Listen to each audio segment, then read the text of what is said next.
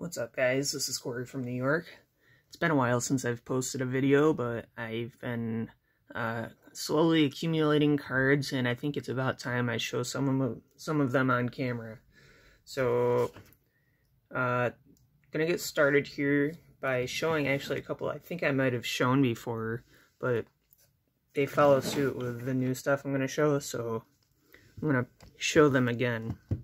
Um, it's a dolphin appreciation video. Um, they've gone six in a row, six wins. Now they're seven and seven again. So I think if the Bills win against the Patriots and the Dolphins win their next three games, they're in the playoffs, uh, which is pretty incredible considering they started one and seven. So again, Dolphin appreciation video. Um, I don't want to hear any naysayers in the comments on this. That means you, Frankie.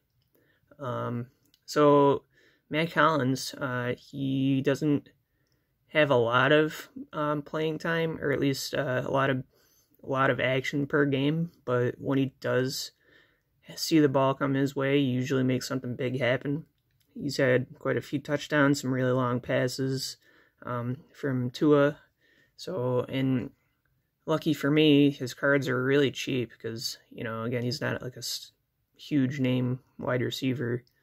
Um, so I got the optic contenders optic rookie here. I got a silver Panini Prism Mack Hollins autograph. Obviously, he was a rookie with the Eagles. Um, he ended up signing with the Dolphins, and um, I'm hoping they extend him because, again, he, he when they ask him to do something, he does it and he excels.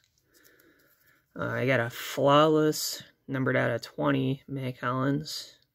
I don't have to say his name every time, do I? Um, again, his cards are really cheap, so I'm able to get like the, the coolest ones, pretty much whatever one I want, are affordable. So fun, fun little collection I got going here. Here's one I've definitely not shown yet. Um, Spectra. And I apologize for the weird lighting in here. Um, I got some issues going on with the lights in this room. So, bear with me. Uh, some nice chunky patches there. Uh, I think it's, I, I, you know, I don't even know what part of this jersey it is. But it's cool that he signed it in green, being that it's an, it's a green scope looking card. So everything matches, looks sharp and that is numbered out of 50. And again, this is from 2017, his rookie year.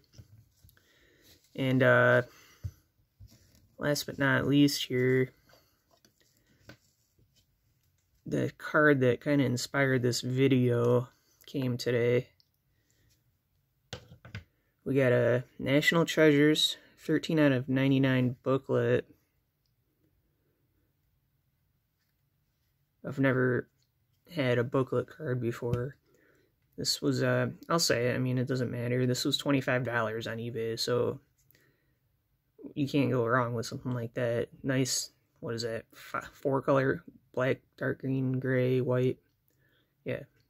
Um, part of the zero, I guess, maybe on his, on his shoulder pad. Um, just a really cool card.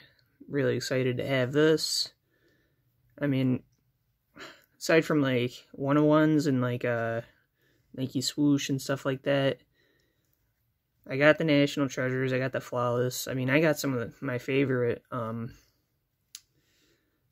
my favorite cards uh, of Mack Hollins now. So really easy, affordable collection. So uh, short and sweet. Just wanted to show that off. I'll probably be following this video up with a Tua appreciation video. Um, so thank you all for watching, and go Dolphins.